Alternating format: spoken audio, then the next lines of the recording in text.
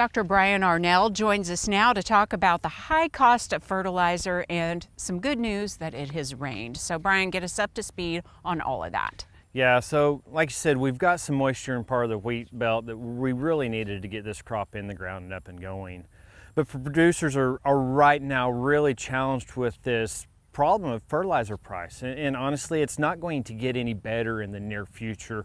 And then nitrogen has just been on the rise with uh, manufacturing issues, Ida influencing the Gulf Coast, and just other things going on that, that fertilizer price is going up. So producers have been really left with what do we do, how do we manage with these given prices. The timing of all of this is really unfortunate given that it's wheat planting time here in Oklahoma.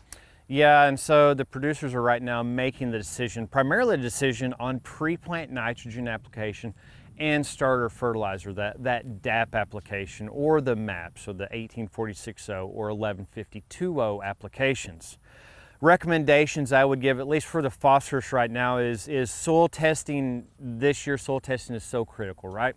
If our soil tests are below that critical threshold of either 65 soil test phosphorus from the OSU lab or 32 ppm, that starter fertilizer, uh, a little bit of that phosphorus in row is going to be beneficial. Even if you're close to that critical value, there's going to be at least 50% of the field that is going to need the phosphorus due to either soil acidity or low phosphorus. So that starter, even a lower volume, is such a value in our soils that may be low in phosphorus or low in pH.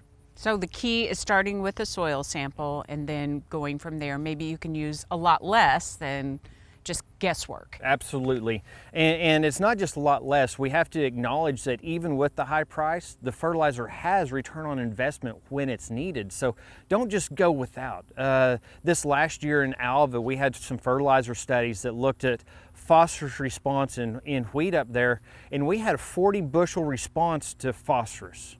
Uh, without it, we just couldn't make it. And so that 40 bushel response, even with today's prices, would have easily covered the price of the 50 pounds of phosphorus we needed to get there. So just because the price is high doesn't mean it's not worth it. We got to have that soil test though to help show us where the value is and where it's not.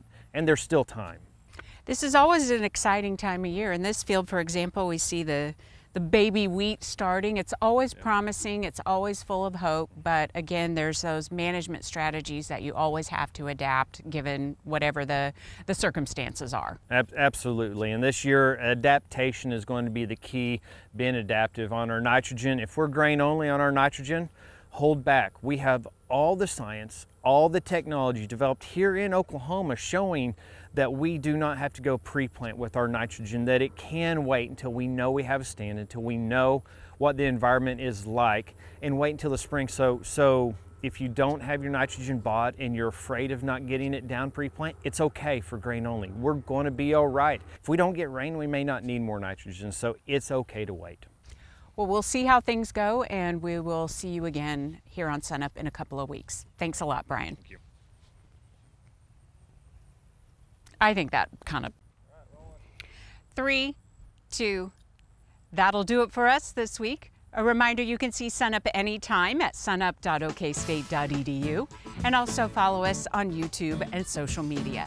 We'll see you next time at Sunup.